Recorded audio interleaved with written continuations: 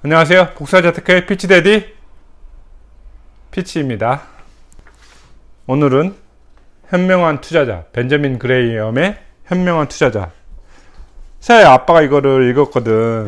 근데 오늘은 지난번에 이어서 두 번째 이야기야. 근데 여기 보면 방어적 투자자의 종목 선정이라는 챕터가 있거든. 거기 어떤 말이 쓰여 있냐면 아빠가 읽어줄게. 방어적 투자자가 포트폴리오를 구성하는 방법은 가장 쉬운 방법이 다우지수 30종목 모두에 똑같은 금액을 투자하는 방법이다.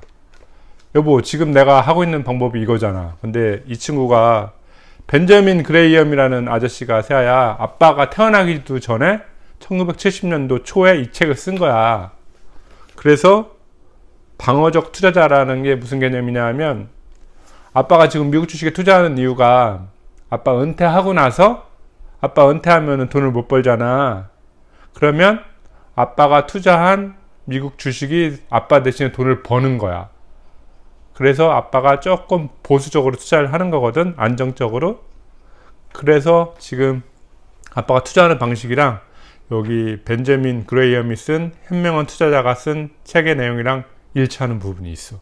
아빠는 너무 지금 뿌듯해. 무슨 얘기인지 알겠어? 생각 한 10년 후에는 이 영상을 보면 알게 될 거야. 알겠지?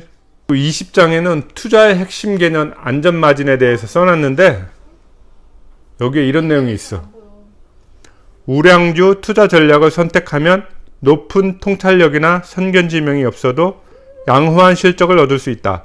장기간에 걸쳐 시장 평균 가격으로 우량주를 매수하면 장담하건대 충분한 안전마진을 확보하게 된다. 내가 지금 이 통찰력이나 성신지명이 없잖아요, 뭐. 지금 남편을 하고 있는데 거기 앞에서 지금 하품하면 돼, 안 돼? 안 되지.